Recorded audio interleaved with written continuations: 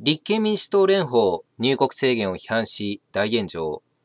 本日、立憲民主党の蓮舫さんが国会にてこのような発言をしてしまいました。今日から中国、韓国両国の入国制限が始まりました。これは科学的根拠はありますか安倍内閣総理大臣。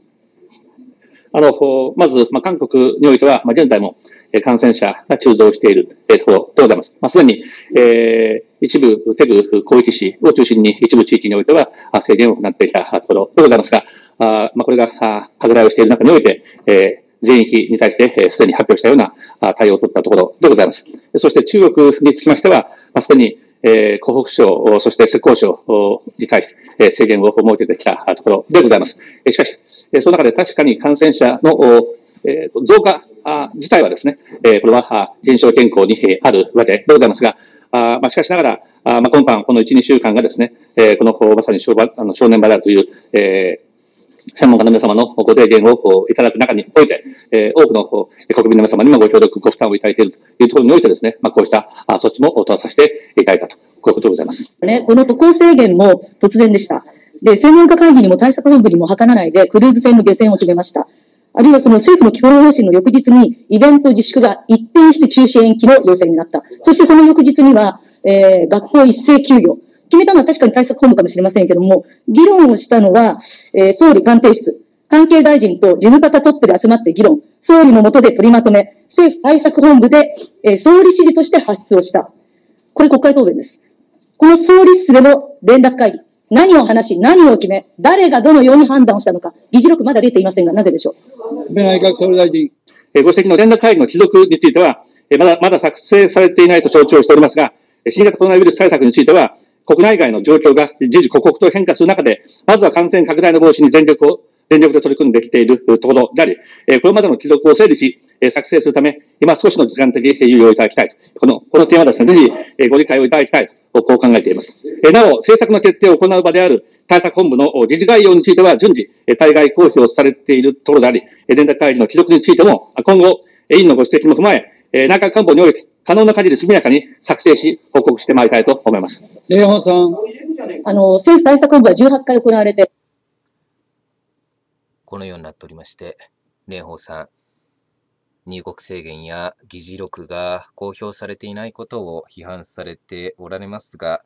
まず COVID-19 のような実態がよくわからず、治療薬も検査キットもないような感染症については、入国制限を実施し、水際対策を行うしかありません。これは日本だけではなく世界共通の対策であり、世界中の国々が実施しております。日本が中国や韓国に実施している入国制限よりもさらに厳しい制限を課している国も多くございますので、蓮舫さんにはまずこういった感染症の水際対策についてしっかりと勉強していただくようにお願いいたします。また、議事録については、例えば国会の議事録であっても、公表されるまでに1ヶ月以上かかるという事実がございます。公文書として大量の発言を文字に起こすわけでございますので、その確認作業もあり、議事録の公表を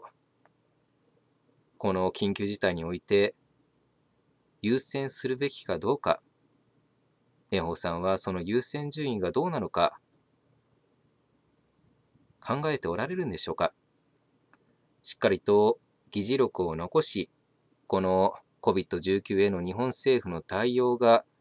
後日ですね、ま、収束した後にしっかりと検証できるような仕組みは用意するべきでございますが、そういった議事録、作る作るものがですね、人が足りていない。そういった中で、日本政府が感染症への対策に追われている中で、議事録公表を優先して、また人が、人手が足りなくなる。それによって感染症への対策がおろそかになる。そのような事態が想定されますので、蓮舫さんには今回のこの入国制限や